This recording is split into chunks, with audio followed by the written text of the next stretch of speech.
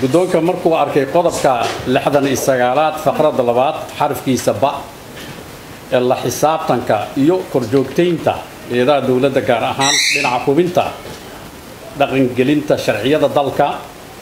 Markuu arkay barnaamijka xukuumadda in dalka ay gaadhsiin doonto doorasho qof iyo cod ah sanadka labada kun iyo labaatanka oo ku salaysan dimuqraadiyad iyo rabitaanka shacabka soomaaliyeed markuu arkay in xukuumadda ku fashilintay ballanqaadkii ahaa kow diyaarinta hanaan iyo qorshe cad oo lagu gaarayo doorasho qof iyo cod ah iyo labaatanka dhammaystirka federaaleynta heerarka kala duwan iyo go'aanka qaadashada maqaamka caasimadda ka hor wakhtiga doorashada afti uqaadidda iyo meelmarinta dastuurka iyadoo lala tashanayo labada gole ee dowlad goboleedyada iyo qeybaha kala duwan ee bulshada. Hirgelinta nidaamka axsaabta siyaasadeed si ay uga qeyb qaataan ama qeyb uga noqdaan doorashada dimuqraadiyeysan ee dalka ugana howlgalaan dalka oo dhan. Markay ku fashilmeen diyaarinta ciidamo amniga suga oo heer federaal iyo heer dowlad goboleed ah awaamirtana ka qaata guddiga madax bannaan ee doorashooyinka qaranka. Xilliga doorashooyinka lagu jiro sida ku cad qodobka konton iyo afaraad sharciga doorashooyinka qaranka.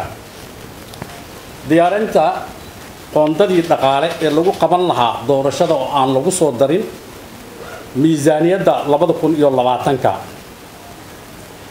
Markuu dhegaystay golaha shacabka ee baarlamaanka federaalka warbixintii guddiga madax bannaan doorashooyinka qaranka ay ku caddeeyeen in ay awoodi waayeen soo gudbinta qorshaha qabsoomidda doorashooyinka muddada ku xusan qodobka saddex-iyo tobnaad faqradda saddexaad sharciga doorashooyinka qaranka isla markaasna ku dhawaaqeen inaysan ku qaban karin doorashada wakhtigii loogu talagalay.